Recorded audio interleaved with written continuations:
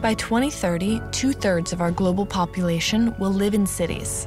Existing infrastructure in many of these places simply can't support the expansive population growth. Today, I'm downtown in New York City on my way to meet two brilliant women working at the forefront of these mobility issues.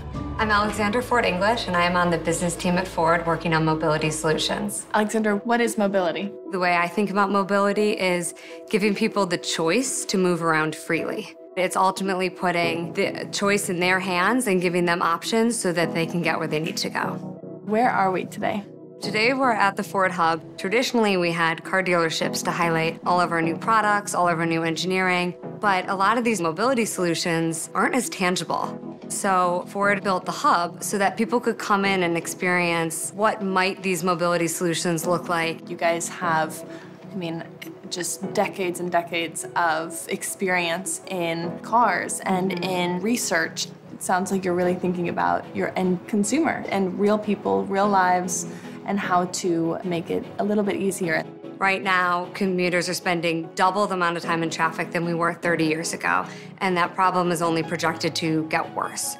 Ford has Chariot, where commuters can say where they want to go and match up with other commuters on the same path. You're getting fewer cars on the road and you're optimizing people's commute times. Did you always plan on working at Ford? I was originally hesitant to join Ford because I don't have a technical background and it's a company built upon engineering. But I knew what I could bring to the company and I was very aware of those skills and so was unapologetic as I searched around the company trying to find a good match where my skill set could make a big impact. What advice would you have for other young women out there?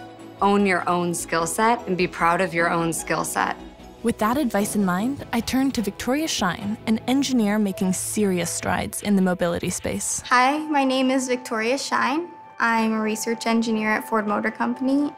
Rumor has it that you have a few patents of your own. How many? Currently, it's now about 35.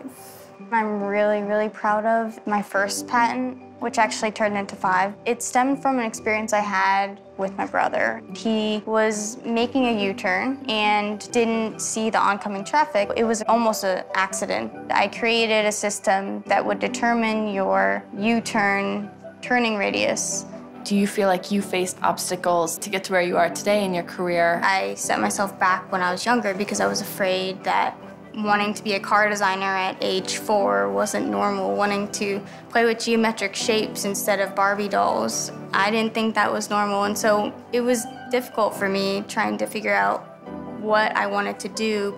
I think it's so important to uh, help young women realize that you don't have to choose just one direction. You can love cars and also love fashion. And I think what's so exciting for us in Kode with Klossy and in our community, we have these young women who learn how to code and apply that technical thinking to whatever direction they're really passionate about. I have a love-hate relationship with coding. I almost dropped out of engineering halfway through because I felt like because of certain grades, I wasn't good enough.